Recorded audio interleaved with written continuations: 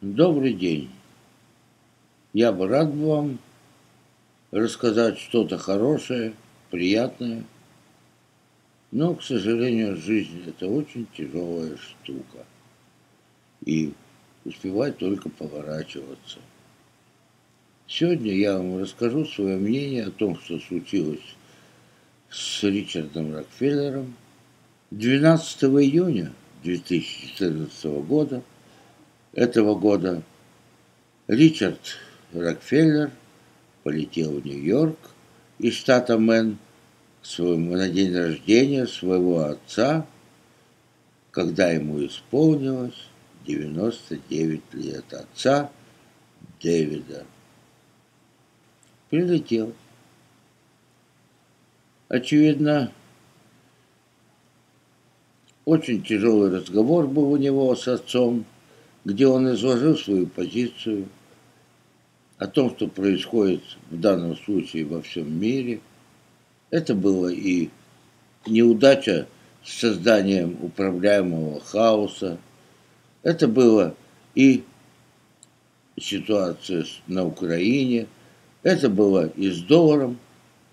В мире сейчас порядка порядка, как можно сказать, больше 400 триллионов долларов. Это 64% всей мировой валюты. Но половина из нее или вообще не вмыта, особенно в последнее время, когда появился у них президент, красавец Обама. Лучше не скажешь. Вот. И и не вмыто, и полувмыто. Потому что не всегда, когда деньги не отвечают произведенному продукту, эта валюта остается полноценной. А Рокфеллеры с этим не считаются, тем паче самая богатая и владеющая ФРС организация, мягко говоря, клан целый, и трудно сказать, какое дальнейшее поведение должно было быть, чтобы и валюту сохранить, потому что за счет валюты Рокфеллеры управляют миром. Вот так вот. Тут уж ничего не скажешь. Был большой разговор. Тут присутствовал и Крым, и все остальное. А Ричард, он прекрасно знал историю очень грамотный человек, любил молодежь, общался с ней все время. Он был председателем «Врачи без границ» на минуточку. Участвовал в развитии медицины. Был, конечно, как все Рокфеллеры, достаточно закрыт в своих действиях, но по его делам – можно судить о том, что он из себя представлял. В частности, биржу металлов он перевел из Америки в Гонконг, где платежи были уже не в долларах, а в другой валюте. Это так, для начала. А в общем, безусловно, он был великолепный финансист, он очень много помогал развитию медицины и всего остального – со многим он был не согласен, а дело в том, что, как я писал ранее, все Рокфеллеры воспитывались в сатанинском духе. Если рождался человек с божьими признаками, они усиленно его перевоспитывали и добивались своего. А вот с Ричардом у них не получилось. Он прекрасный человек.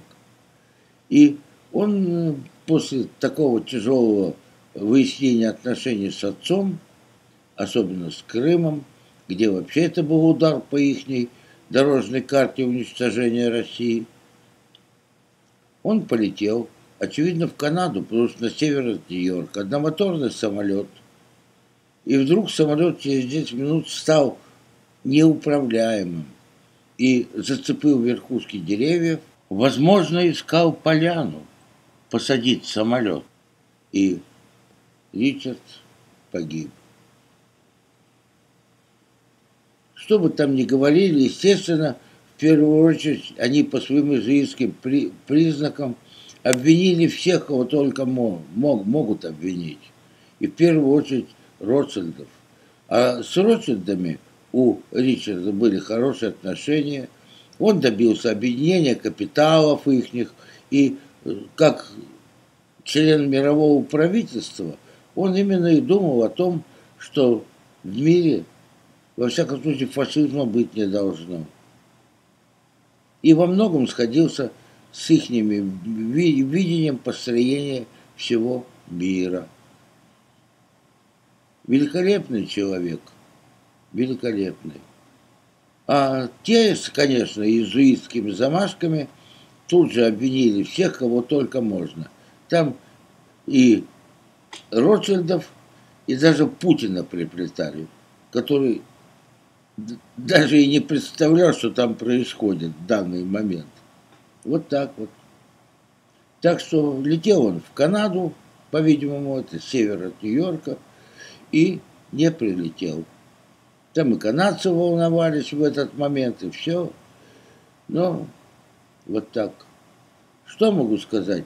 Великолепный человек, который своими делами, находясь фактически в тяжелейшей политике, которую проводил клан Рокфеллеров, смог сделать очень много и для страны, и для своей, и для всего мира. Вечную память, вечную память. Да Бог, чтобы Бог человека, который смог такое сделать свои 65 лет, позаботился о нем дал ему возможность дальше развивать все мировое здание, весь мир. Вот. А сейчас вообще происходят странные дела. Папа заявил, что Бог не всемогущ. А что он представляет Бога?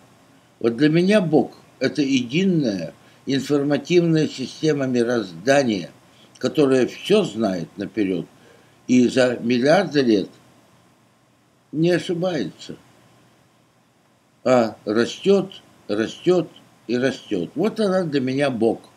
И это тот Бог, который во всех религиях все, всюду и всегда. А кто Богом является для папы? Это очень интересный вопрос. Вот что могу сказать на эту тему. Ричард, счастья тебе. Ты для меня вечно живой. И дай Бог, чтобы все у тебя дальше в жизни сложилось и было прекрасно. Ну, а Рокфеллеры найдут клан Рокфеллера свое место в этой жизни. Я думаю, что и Ротшильды позаботятся о них в ответ за наглое убийство Демарджери. Наглое и показательное. Хоть виноваты они сами во всем этом. Наверняка. Здоровья вам, Божьей помощи.